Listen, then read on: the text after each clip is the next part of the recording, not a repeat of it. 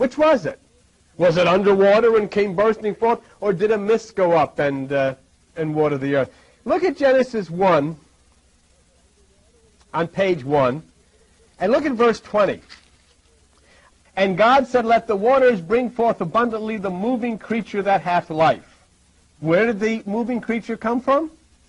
The waters.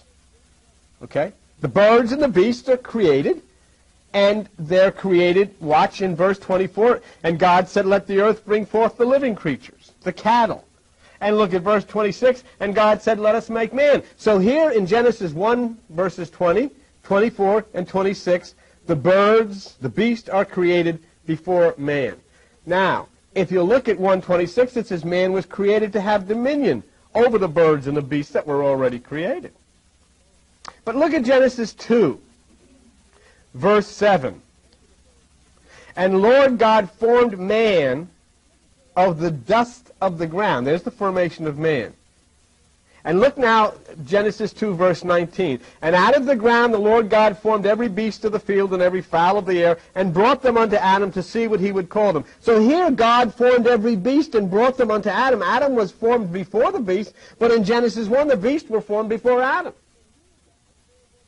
And I'm not being picky about it. It's very important when you begin to look at this, because what you're going to see is that the book of Genesis is not an entire book. There are two and three distinct creations or uh, authors of Genesis. Look at this. and look at Genesis 1, verse 20.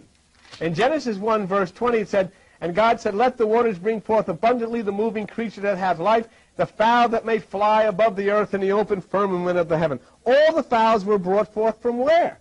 The waters. Do you see that? Let the waters bring forth abundantly all the fowl. But now look at Genesis 2, Verse 19. And out of the ground the Lord formed every beast. Which was it? Did they come from the waters or did they come from the ground? It's very important. And it's very important for you to see that on the first two pages of the Bible there are tremendous contradictions. Tremendous contradictions. And as we go along, it, it gets a little more interesting. Look at this one. Page 1, or page 2, Genesis 1, verse 27. So God created man in his own image. In the image of God created he him, male and female created he them. God created man in his own image. Now look at Genesis 2, verse 7. And the Lord God formed man out of the dust of the ground. See? And so which is it? Is, is he created in the image of God, or is he created out of the dust of the ground? two are certainly not consistent.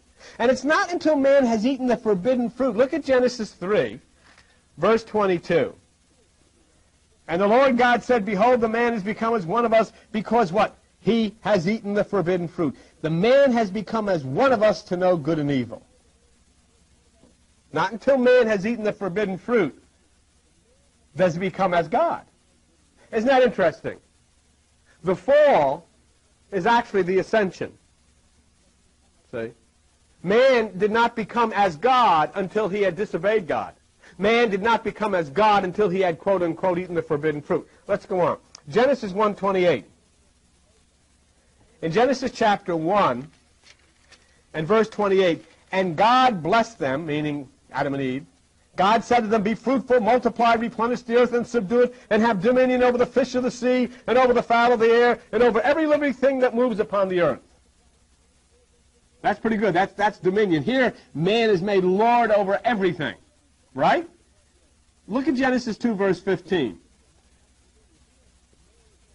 And the Lord God took the man and put him into the Garden of Eden to dress it and to keep it. He's a gardener. Quite a difference. Now look at Genesis 1, verse 27 and 28. And what does it say there? man and woman. God created man in his image. In the image of God created male and female created he them instantaneously. Male and female made simultaneously. And he said, be fruitful and multiply. Now look at in Genesis 2, verse 7. First of all, in verse 7, man is made out of the dust of the ground. Verse 8, he's a gardener, puts him in the Garden of Eden. Okay. Verse 15, there he goes, put into the Garden of Eden again. He's placed by himself in the garden. Then verse 22, In verse 22, it says, Finally, a rib is taken out of man, and woman is made out of the man's rib, but merely as a helpmate. Before, they were created simultaneously to have Lord and have dominion over everything. Now, all this business happens. Man's put in the garden. He's a gardener. He's put to sleep. They rip a rib out of him, and they make a lady. It's, it's very interesting because the, the, the, descriptions are so different. So the fact is, and this is what I want you to see, the second account of creation starts at Genesis 2 from verse 4 to verse 25. That's the second account of creation. And it also is together with the story of the fall in Genesis 3. So Genesis 2, verses 4 to 25, and Genesis 3 are written by one person, composed by an altogether different person that wrote Genesis 1 and Genesis 5. Completely different. Completely different.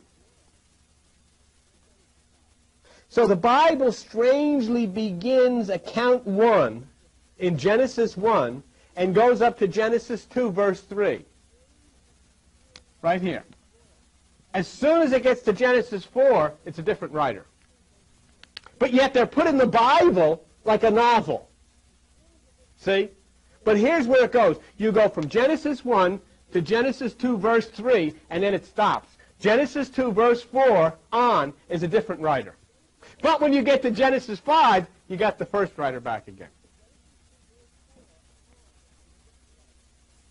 See, in Genesis uh, at 2 4, the second account, which is completely different here in Genesis 2, verse 4, than in Genesis 1, the second account, which is completely different, begins as if it is a continuation of 1, which it isn't. In other words, Genesis 1 starts here, but the writer ends it, and then Genesis 2 takes over here, and it continues as if it's a novel, as if it's the same story. And it's not. There's two different, two different authors completely, two different stories completely.